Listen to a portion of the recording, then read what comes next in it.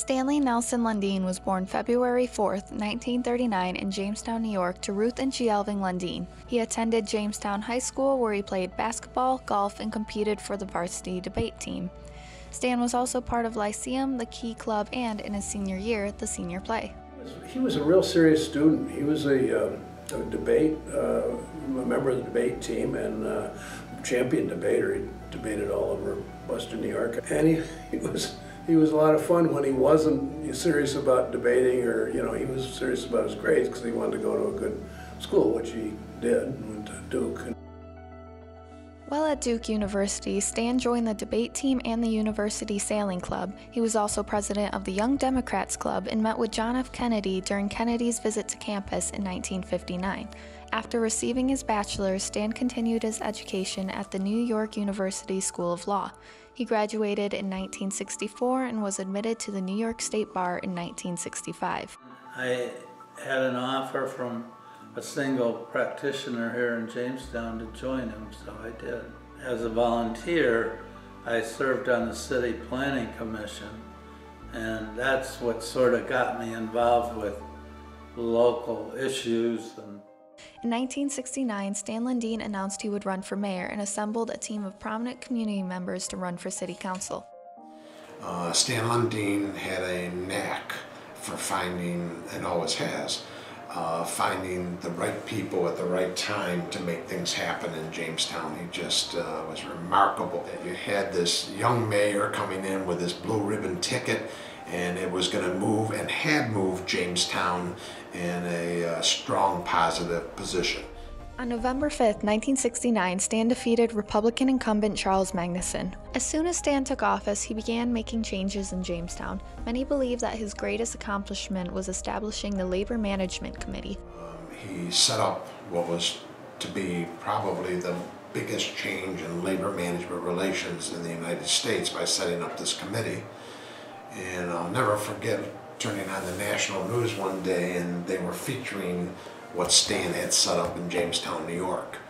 Jamestown was famous for, for terrible um, uh, labor relations. They had strikes back in the 40s and 50s that would go on for months and months and months. The concept was pretty simple. Uh, labor and management should sit together, Stan thought, and talk out their problems like a mediation format it had a beneficial effect on our attempting to attract industries here, especially Cummins Engine. Uh, Stan Lundine and I played a big role in attracting that company. Solving labor management tensions was only a small part of Stan's job. The mayor of Jamestown had plenty of other responsibilities. Being mayor of Jamestown then, we, we were the sole sponsor of the community college. We had a hospital, uh, we had a bus system, an airport, the largest uh, electric, municipal electric system in the state.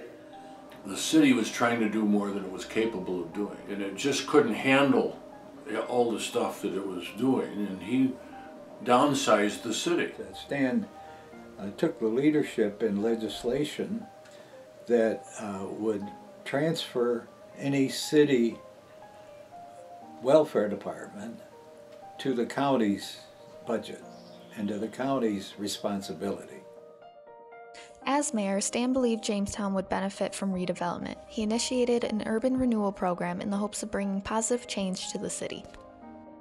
Stan was also an environmentally conscious leader. He understood how crucial environmental awareness was. On April 22, 1970, Stan teamed up with the Kiwanis Club to demonstrate the effect of pollution on Jamestown. In Jamestown, New York, the Kiwanis Club arranged to dump 20 tons of sand in a downtown area to show just how much dirt falls in one square mile of the city during just 30 days of maximum air pollution. Stan also signed the Earth Day Proclamation in 1970 along with several other United States and world leaders.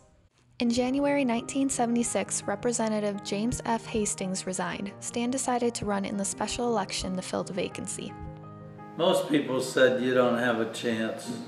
Even my closest contacts in Washington and so on. Basically put together quite a team in a short amount of time and uh, I think the Republicans never thought it would happen. There'd never been a Democrat elected to the Congress.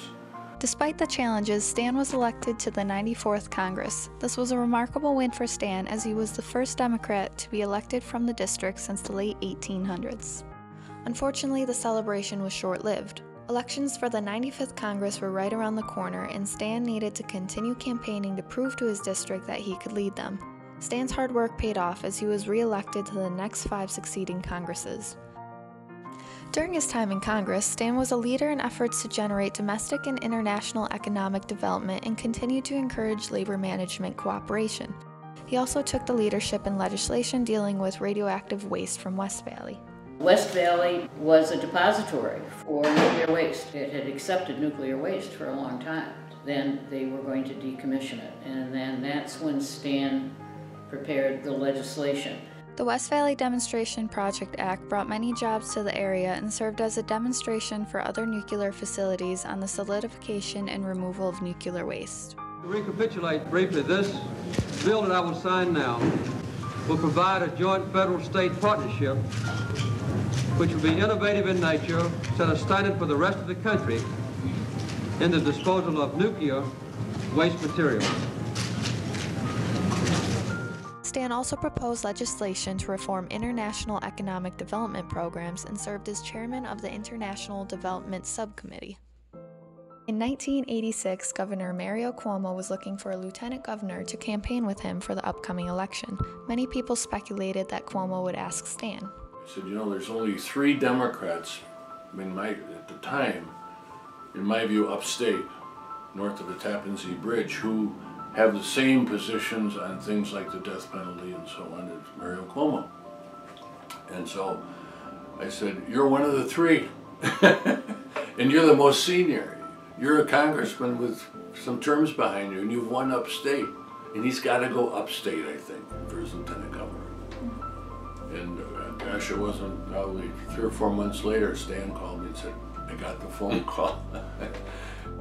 On November 4th, 1986, Governor Cuomo was re-elected governor of New York and Stan was elected lieutenant governor of New York. to have a lieutenant governor come from way out here in a small town, rural area, not Buffalo, not Syracuse, upstate, Jamestown.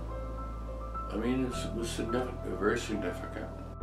Stan was assigned several positions as lieutenant governor. He was the chairman of the governor's Anti Drug Abuse Council, head of the Job Training Partnership Council, and an advocate for high speed trains connecting New York cities. He also traveled on behalf of the governor and was considered the voice of upstate New York. Stan also helped bring the president to Western New York. The first time was in 1992 when candidate Bill Clinton was on the road for the Clinton Al Gore campaign. Stan introduced Clinton to a rally in Bestor Plaza at the Chautauqua Institution. And next year we'll be able to add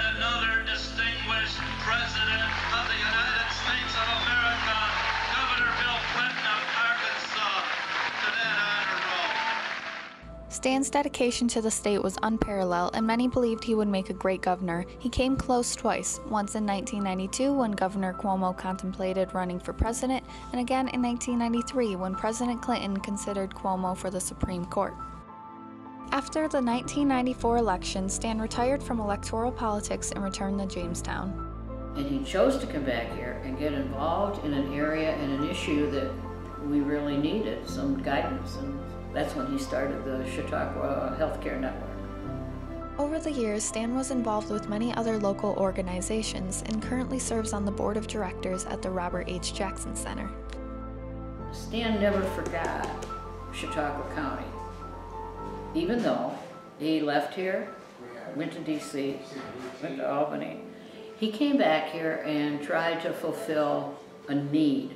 Now he and Sarah spend a certain amount of time at their home in North Carolina, but they also have a residence here.